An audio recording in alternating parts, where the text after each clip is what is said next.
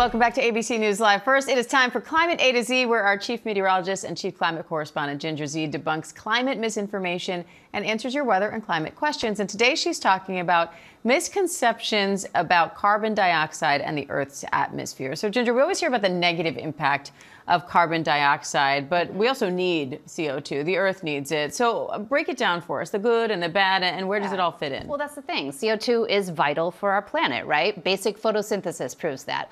Where CO2 got bad attached to it was with humans creating an unnatural surplus into the atmosphere. Our natural carbon sinks, which are all over, including the ocean, only absorb about half of what we are currently producing. So CO2 just keeps adding up and it keeps warming the planet.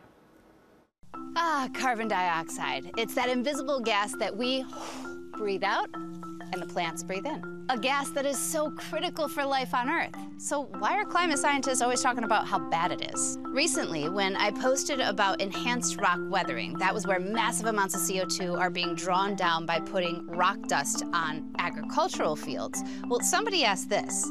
If we get carbon dioxide out of the air, what are the trees going to do? First of all, nobody says they want to get all the CO2 out of the atmosphere. The trees would not be very happy about that. We just want to get back to a natural balance. See, in the last century or so, humans, with our fossil fuel use, have tipped the scales and the concentrations of CO2. To understand the problem, we came here to Columbia's Lamont Doherty Earth Observatory. Come on, this is where they study CO2. Why in climate science are we often hearing CO2 and bad?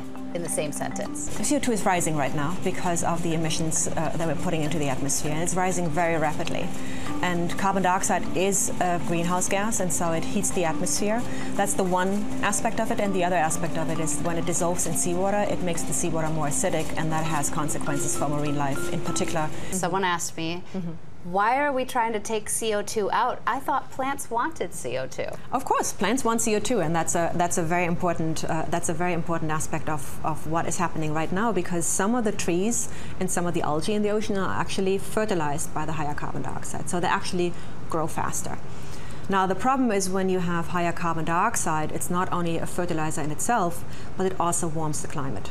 The climate is a combination of different components that must be just right for, for life to, to exist on our planet. So CO2 itself is not the problem. It's the fact that we have injected 1.5 trillion tons of it since the Industrial Revolution into the atmosphere. That's according to the Global Carbon Project. How do we know? Well, we can compare to old CO2 cores like this.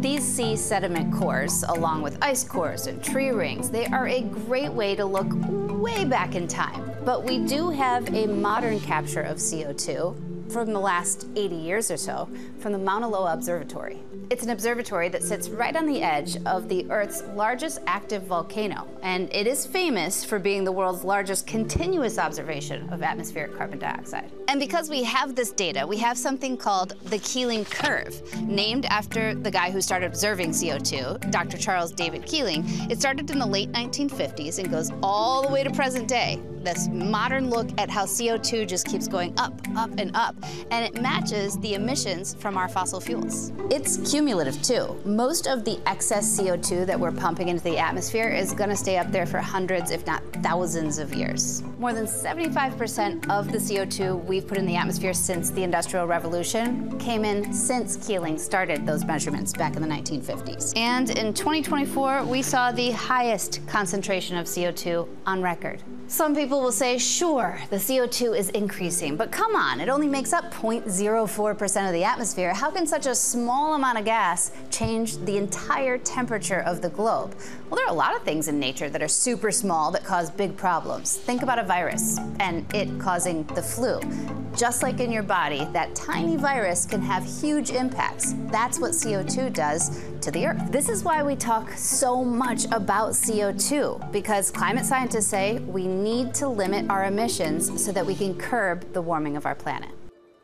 The last time that carbon dioxide levels were as high as they are now was about 3 million years ago, well before humans were on Earth. And climate scientists say that part of that was because of volcanoes or solar cycles. So when we look at how fast the increase in carbon dioxide has been over the past 60 years, it's been about 100 times faster than previous natural increases like those that happened at the end of the last ice age, 11 to 17,000 years ago. Right. So we're doing it real fast. The Earth can exist in these conditions. We're the ones who can't, right? We're the ones in trouble. So how do we get back to that rebalance? Because yeah. the objective is not to suck all the CO2 out of, of the atmosphere, not. but how do we get to the levels where it all makes sense and that, you know, the cycles are all working as expected? Even if we were to cut fossil fuel use like completely right now, we would have this legacy load that we had put up into the atmosphere that would take hundreds, if not thousands of years to come down and get back to a regular balance. However, getting to that curbing those fossil fuels as quickly as possible is what climate scientists say we have to do because we just keep adding. We're just going to keep adding, and our natural sinks, like the ocean, are saying, I've had enough. All right, yeah. Ginger, thank you.